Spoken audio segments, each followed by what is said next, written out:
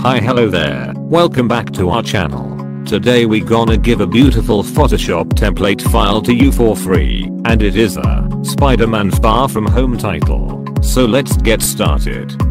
Before opening the template file, first install the fonts. Select the your title layer and go to the 3D panel and click on the properties. Make sure you have activated properties in the Windows tab. Now click on the edit source to edit the text. Now go to the layers tab. Double click on the thumbnail icon to get into it. Now change whatever you want.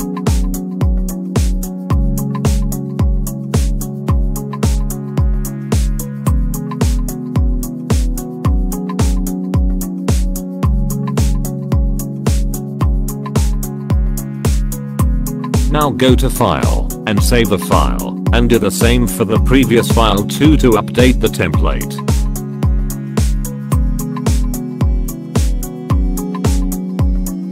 As you can see that the file has updated but we need to do some changes.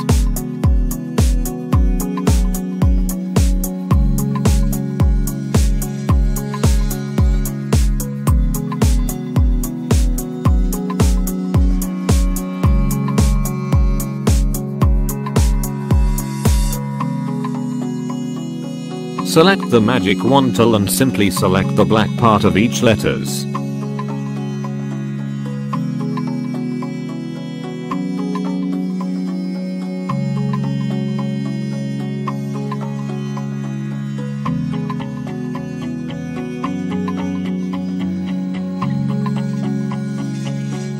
Now right click on the mask icon of the texture and delete it.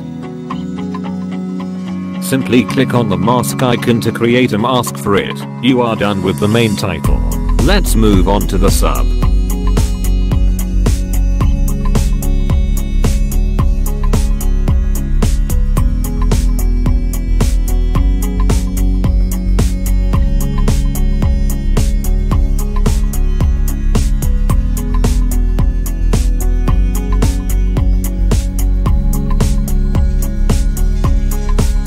There's nothing complicated in this text. If you press 0 instead of O, you will get this beautiful spider head, and that's it, you are good to go.